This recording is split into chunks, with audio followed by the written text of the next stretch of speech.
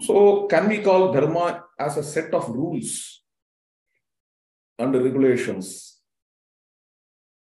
So, rules and regulations are dharma? No. Again, rules and regulations can be dharmic, can be adharmic too. We can't call always rules and regulations as dharma. I am remembered of a poem, Subramanya Bharati in Panchali Sabadam.